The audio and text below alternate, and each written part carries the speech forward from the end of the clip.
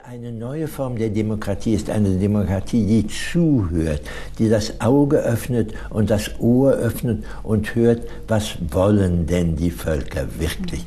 Das müssen wir dann als Demokratien vorwärts bringen. Das Ohr ist offen. Gewalt bringt Gewalt. Gewaltlos kann man handeln.